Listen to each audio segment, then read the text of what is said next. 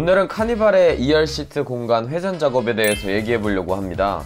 이번 카니발 튜닝에서는 카니발이 한정되어 있는 실내 공간을 더 넓게 사용할 수 있도록 실용적으로 공간 활용에 탁월한 아이템인 카니발 2열 시트 공간 회전이 진행됐는데요. 시공 전 순정 카니발은 2열 시트를 최대한 뒤로 밀었을 때 3열 사이드에 있는 휀다 마감재 때문에 더 이상 뒤로 가지 않아서 공간을 마음껏 활용할 수 없죠. 이런 불편함을 해소할 수 있도록 튜닝하는 방법이 회전 레일 제품으로 교체하는 것입니다. 7인승 카니발은 옆이동까지는 되지만 회전 기능이 없고 9인승 카니발은 옆이동과 회전 기능이 없기 때문에 이렇게 별도로 편의를 위해서 옆이동이 가능한 회전 브라켓을 장착하는데요. 이렇게 설치하게 되면 순정 시트보다 시트의 고정 위치가 달라지는데 하단에 회전을 위한 브라켓이 적용돼서 순정 대비 시트의 높이가 6cm 정도 높아지게 됩니다. 만약에 키가 큰 분들이 함께 탑승하거나 천정고가 높은 게 더 좋은 분들이라면 인식해 주시고 튜닝을 선택하시길 바랍니다.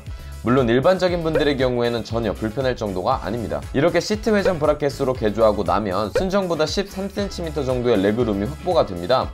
3열 쪽에 휀다 마감재에 걸리지 않게 시트를 양옆으로 이동시켜서 뒤로 갈 수 있기 때문에 legroom 공간이 늘어나는 거죠. 게다가 legroom뿐만 아니라 순정 상태보다 시트를 뒤로 눕힐 수 있어서 더 편안한 휴식을 취할 수 있습니다. 물론 그렇다고 180도가 눕혀지는 건 아니기 때문에 침대처럼 완전히 시트를 눕히고 싶으신 분들은 reclining 시트 작업이나 지난번에 소개해드렸던 황제 차박 시트 작업도 진행하고 있어서 참고하시면 될 것 같습니다. 궁금한 점이 있으시다면 댓글 달아주시거나 유선전화나 1566-8283으로 전화 주시기 바랍니다.